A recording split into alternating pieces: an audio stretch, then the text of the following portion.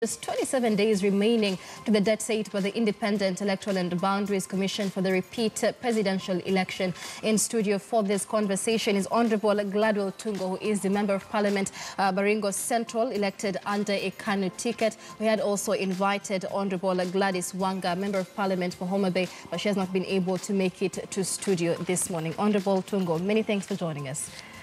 Uh, so let's begin uh, with the election stalemate in uh, the country. IEBC uh, still insists officially the date remains the 17th of October. Uh, but of course, we've had the opposition led by Raila Odinga coming out to say there is still enough time for IEBC to contract another firm to, to deal with the transmission of election results. And this is with regard to the French firm Safran and Morpho, which Raila Odinga says bungled the elections and cannot be mandated with the carrying out this election once again. And we've seen Jubilee supporting uh, IEBC's decision to have this firm continue uh, with uh, the uh, transmission of results. Your thoughts on this, considering that uh, the firm itself says it might not be able to meet the timeline set by IEBC? Okay, uh, thank you. Um, before maybe I go to the point, mm -hmm. I want to make a point of correction on my title that I'm the county MP for Baringo, but not for Baringo Central. Okay, we beg your pardon. Yes. Um, on, on, on these uh, IEBC issues and change of uh, the farm and the like, uh, in my personal opinion, uh, it's better we go buy the farm that is there. Mm -hmm.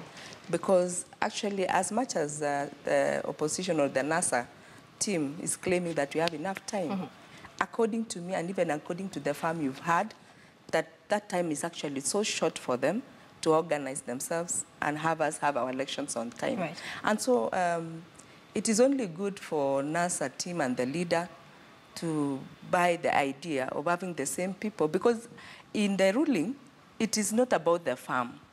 Mm -hmm. It's not about the farm. I don't believe that they are the ones who actually brought the irregularities.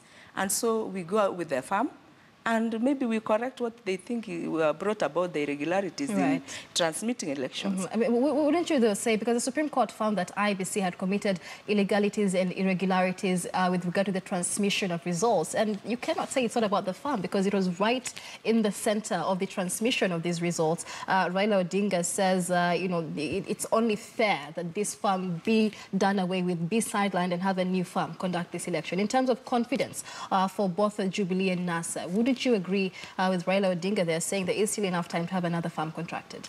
Okay, in an exceptional cases, if actually, if actually the IEBC, uh, the Jubilee, the NASA team, they feel and uh, in inaccuracy that we'll have that enough time, mm -hmm. then I don't, I don't, have any problem. You know what you, we want in this Kenya? The paramount issue here is we want this Kenya to go forward. Right. If they can come together and agree, and in the, in the essence, in the real essence, we have time. And they know that that time is enough. Mm -hmm. And the farm is allowing that they can change and they can, you know, what we need is smooth running of this repeat of elections. Right. Finally, that's what we want. All right. And of course, uh, Jubilee Party leaders uh, are now claiming that uh, NASA presidential candidate uh, Raila Odinga and his allies actually helped Safran Morpho to secure its first contract in 2013. But even with the claims, the opposition chief maintains that Morpho must go before the repeat polls. Odinga insists there is still enough time for IEBC to engage a new firm to supply election kits. Let's listen in to what he had to say. The company called Safran Mofo from France, which colluded in trying to subvert the will of the people of Kenya, must go. Tunasema hii kampuni ya Ufaransa ambayo inaitwa Safron, kwanza tunataka tujue local partners wao hapa ni kina nani. Mimi nasikia Raila Odinga kila mara analaumu kila mtu, he blames everybody but himself. And I disclose to Kenyans today that our findings were clear that the name Safran Morpho was recommended to the government of Kenya and to IEBC by Raila Amolo Odinga. All right, so that's what's going on in the political scene, and it's beginning to become politicized now with Jubilee pointing fingers, saying Raila Odinga is opposed to this farm, but he helped it secure uh, its uh, first deal in Kenya in 2013. But again, the opposition says Jubilee is, is, is insisting on this firm because there is a collusion, uh, so to speak. I remember Safran Morpho coming out and saying they had done an internal audit uh, of uh, their servers and transmission system, and uh, it shows that there was no hacking. But as it stands, the Supreme Court ordered for IEBC to open up its servers, even to NASA, and that was not able to happen. So the question has been, how were they able to access these servers and conduct an audit? Is there some foul play here? Uh, you know, um, what is in the, inside this uh, transmission, IEBC issues, the NASA complications, the, the Jubilee claims, when you look at it very well, uh, there are some people who would be knowing more than what we know, um, of which we cannot know who they are. But the fact remains, even after it was not opened, and they were able to get to know what went around in the transmission and the like, I think they had better come out. Because as you have heard uh, and Ababu Namwamba say, the people, who- the person who actually pointed out who should transmit these things for us, the server, the OT-Morpho, is Raila himself. Now, at this given moment, is not for it. I mean, whatever happened in between, they, are, they, they, best, they best know it because we were not brought in, the, in the, the, in, through the broad uh, daylight Right. to see exactly what happened in these IEBC transmission issues. So the truth of the matter, if they know where exactly the problem was, let, let them come out and tell us where the problem was. But we cannot be changing or shifting goalposts every now and then. Right. We need this, we don't want this. Mm-hmm. And you know, in my community where I come from, where I come from, if you marry, like you have, you have been told, OT-Morpho was brought about by Raila. Mm-hmm. I- If, you know, in my community, want to marry, you get a wife for your own. It's you to get that woman. If you get that woman today, you are marrying, you are marrying Jennifer. Tomorrow, you don't want Jennifer. You have married Mary. Tomorrow, you don't want Mary. And then the other day, you, you see, finally, it is you, the man, who is having problems. Right. It's not about these, these women. Because for sure, since 20, 2007, uh, Raila Amolo Odinga, um, after losing to Kibaki, he said no to Kivuitu. He said he must go. Kivuitu went. When he lost to uh, Huru, 2013, he said Isaac Hassan should go. Isaac Hassan went. Mm-hmm. Now he has lost 2017 to Uhuru. He's now saying Chiloba and company must go. Mm-hmm. Until, I mean, so every time you lose, people must go. Right. Uh, let's focus on the Supreme Court equation here because uh, on Thursday, just two days from now, the Supreme Court will be giving its full verdict uh, with regard to what informed its nullification of the August 8th election. In a status report uh, by Safran and uh, OT-Morpho to the IEBC yesterday, uh, they indicated that they have to wait for the full verdict of the Supreme Court because should it rule or should it determine that uh, the French firm must move its servers to Kenya, then they will need more than 30 days to make that happen, which means that uh, if this firm is to stick, then we may not technically, uh, it may not, it, it may be technically impossible rather to hold an election even by the 31st of uh, October. Is this a decision that may inform a different firm? With Raila Odinga, they're saying there's already five firms within the country that are willing to lease their kits to the IEBC. Okay, um, you see, constitutionally, we have 60 days allowed by the Constitution for us to do a repeat of elections, Right. of which uh, statistically it is going to end on 31st of October. And uh, if that is what is going to happen, the, the law is so silent on what happens after that, that after the 60 days. And so if there's anything they can do, and if they we cannot conduct elections on 17, most, most probably what will happen is in agreement, and because the, the two parties, the two coalitions have agreed that they have to meet mm-hmm. so that they come around with what they want to, to happen. Right. But if, if actually there is nothing that can bar us from conducting these, these elections on 17, mm-hmm. according to me, we should go so that we go on with our lives. Right. But if it is a must that IEBC rules that we have to change the farm, And like any other independent body, and we have always respected, hmm. even the ruling that came, we'll also still respect this.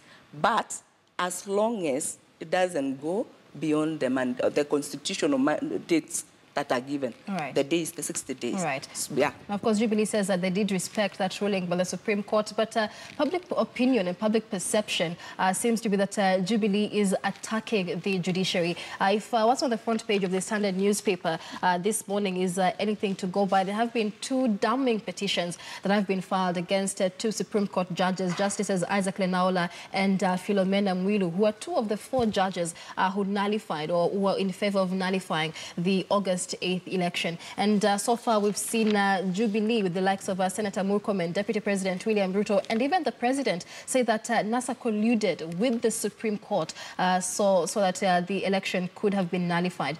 Does that really signal a respect of the decision of the Supreme Court? I want to reason from uh, the point of uh, just being a human being. Leave alone with these positions. We have deputy president, majority leader, what, what, what.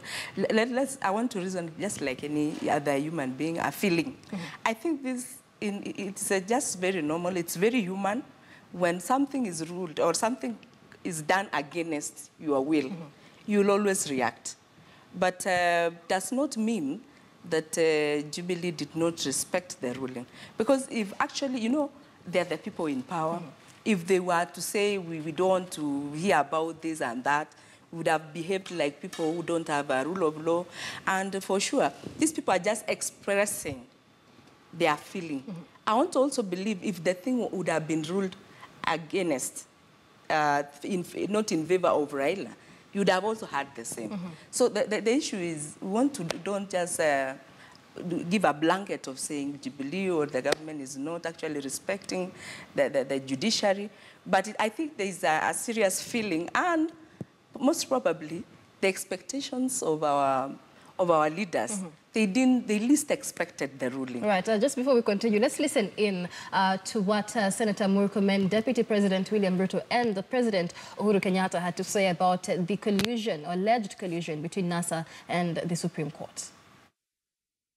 Sisi kama jamii wa Kalenjin tutarudisha Uhuru Muigai Kenyatta. Use your independence to do good. That independence has been given to you by the people of Kenya. Serve their interests. We want elections within that 60-day period. We want elections on the date that was announced by the IEBC. Wale tunashindana na wao walipanga njama na mahakama ya kunajizi demokrasia ya Kenya na kuendesha mapinduzi ya uamuzi wa wananchi wa taifa letu la Kenya. Nataka nimwambie Chebukati anisikie vizuri sana, usilete mchezo na ni kwa kazi. Ile uongozi tunaongea hapa ni maisha ya Wakenya. wakarudi kutuambia ya kwamba kura ya mwananchi sio hoja kubwa. Hoja kubwa ni fomu hii, ni fomu ile, ni fomu hii.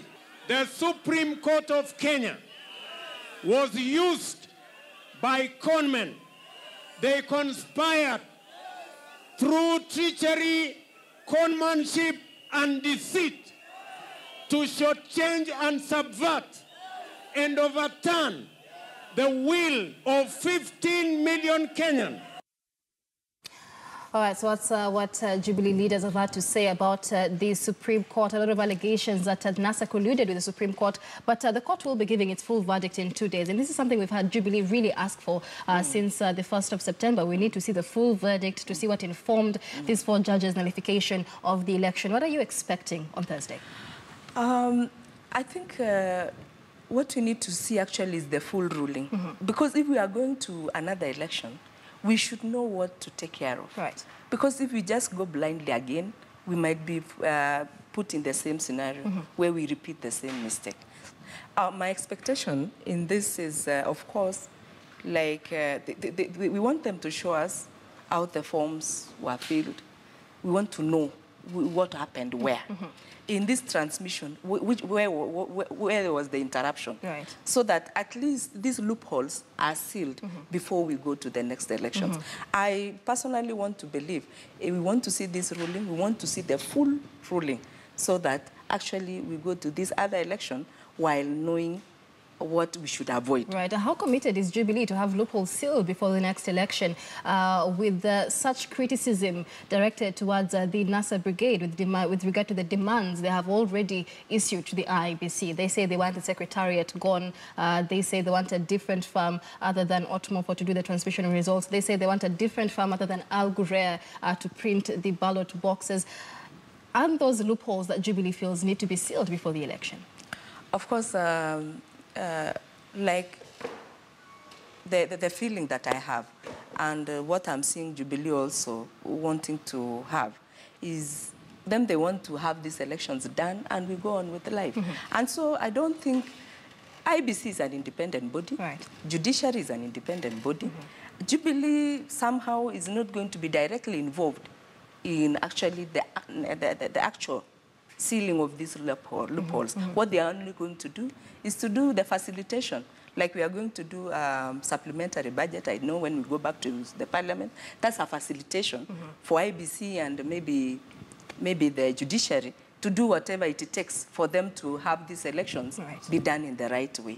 But it's not a direct uh, action of the government to actually impact on it. the decision. Yes. Uh, but even as uh, Jubilee accuses NASA of colluding with the Supreme Court, the opposition is accusing Jubilee of colluding uh, with the Independent Electoral and uh, Boundaries Commission. And we saw this last week with that uh, scheduled meeting between IEBC and uh, the two parties. Uh, as NASA says, the meeting did not take place. Jubilee says, but we were there. Um, it's just that we happened to be there 30 minutes after NASA left, so they're the ones who did not for the meeting.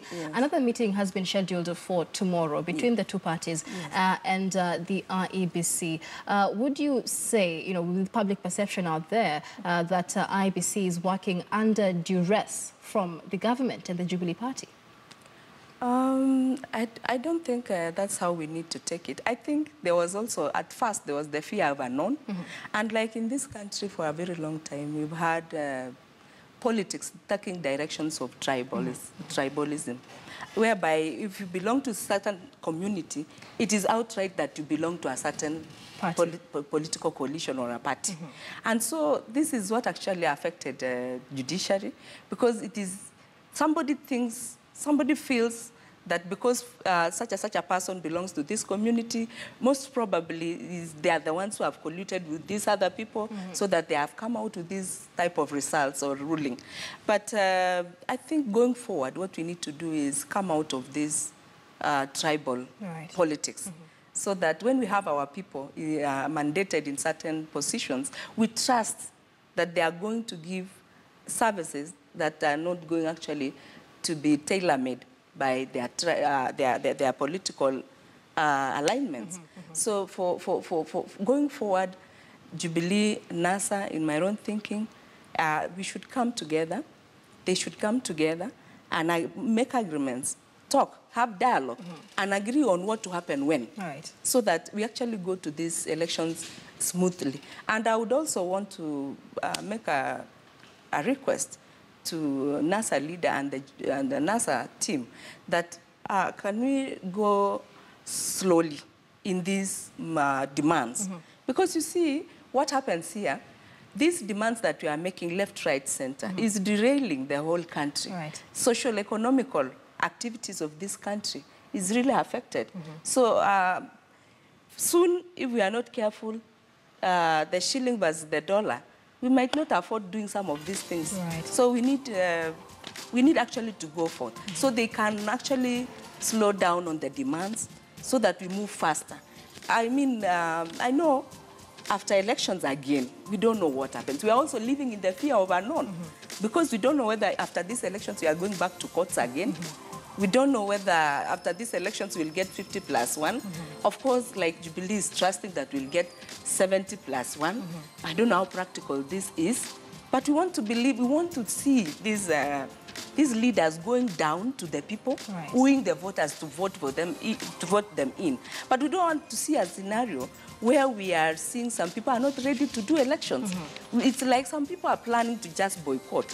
Ama wanahitaji mnusu mkate. I don't know. mm -hmm. Because the feeling that I have personally is this shifting of uh, demands probably is pushing us towards not doing the elections. Right, Yeah. all right. Well, this is a conversation we'll have uh, to continue at a later date, just 28 days uh, to the repeat presidential election set for the 17th of October. That is the political point this morning. I'll take a short break on Morning Express, but uh, do stay with us. More news coming up on the other side. For now, however, I'd like to release our viewers watching us on KTN Home. Life and Style is coming up next. And many thanks for staying with us. Good morning. Do stay with us after the break.